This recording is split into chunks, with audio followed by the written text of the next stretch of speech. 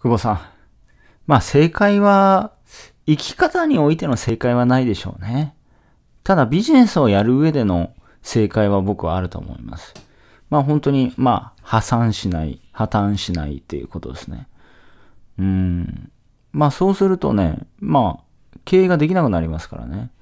経営ができなくなるってことは、従業員に給料が払えなくなりますから、従業員に給料が払えなくなると、従業員の給料がないってことは従業員の生活ができなくなるっていう。うん。だからこれは、まあ、い、これは正解なのかって言われると正解ではないと思うんですよね。うん。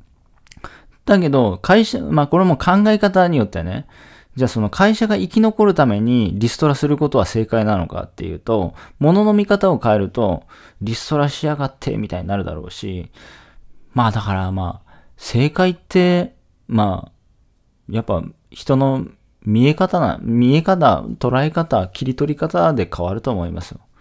まあだって僕は思うんですけど、人を殺すことが正解の時もあったわけじゃないですか。正義というかね。うん。なんか、うーん、日本も戦争してましたし、だから時代、まあ今、じゃあアメリカ人殺したらどうすか多分、ダメですよね。うん、でも時代によってアメリカ人殺すと英雄じゃないですか。うん。だ今、ロシアでも戦争、あの、ロシアの、あの、ウクライナでも戦争してますけども、まあ、敵陣を倒す。うーん、まあ、それヒーローですよね。その自分の両国を守るために敵陣を、ああの、倒す。まあ、倒すと言い方なのか、殺すと言い方なのか、まあ、言い方次第ですけども。うん。だから、まあ、正解なんてないと思いますよ。うん。ただまあ、その、なんだろう、自分を守るための知識ですかね。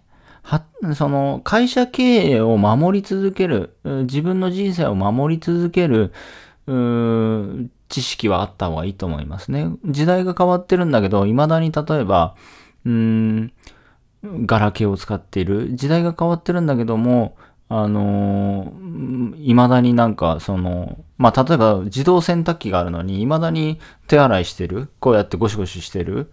その、たわ、俵でやっている。はい、えー、途中で切れちゃいましたけど、まあ、要は使えるものは使った方がいいと思います。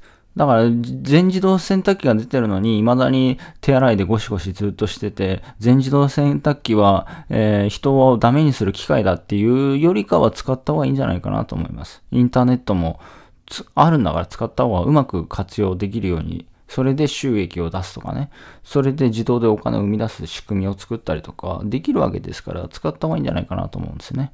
いってらっしゃい。